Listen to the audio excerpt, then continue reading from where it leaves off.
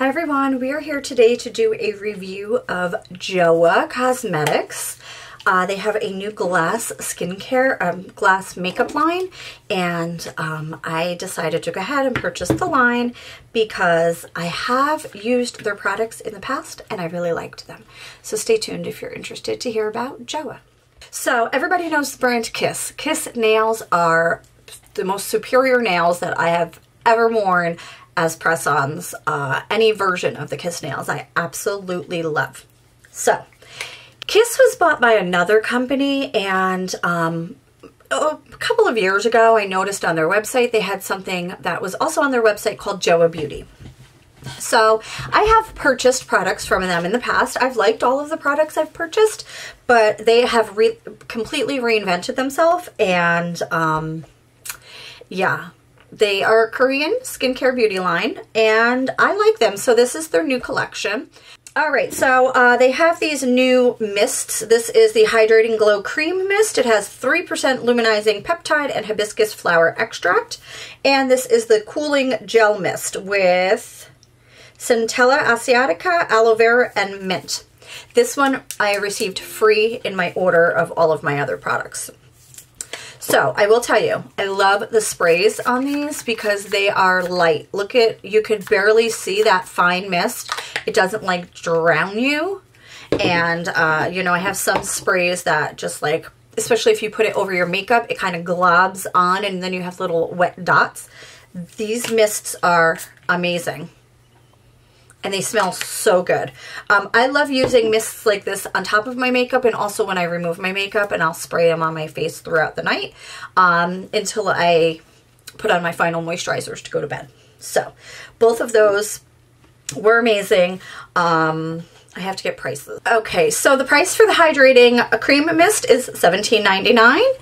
Um, I did get this one free, but um, I love those absolutely love them. So they have, um, I love that beauty products are now incorporating skincare. Like, I love it. I've always hated the fact that you try to take care of your skin so much and then you're globbing makeup on top of it and it's kind of like struggling and, you know, just thought in my mind.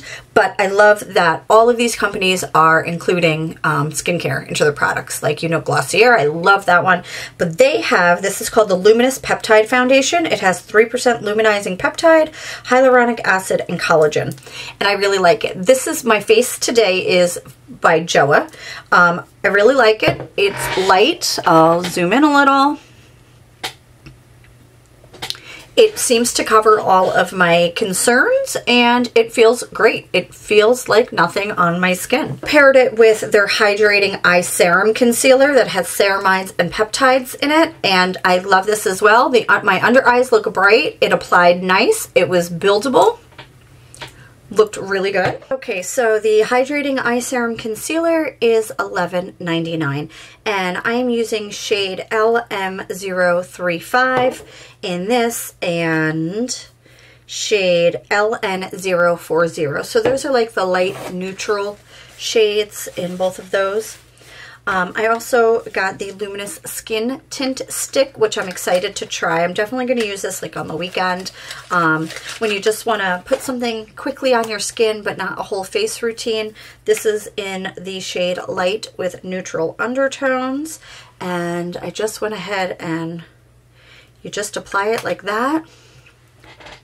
Can you see it? Yep. And then you just blend it in and it's just a beautiful light layered skin tint. Um, this does also have 3% luminizing peptide in it. So just look at that beautiful glow. That looks so nice. And that price is $13.99. And then to top everything off, we have this Glow Perfecting Powder, which I love. It's really cool. It is a three-in-one, so it has all of the colors in the color wheel here to help neutralize your skin tone. And it is talc-free. I am using the shade Light. Um, and this is, wait, is this one light? Let me see, hold on. I am using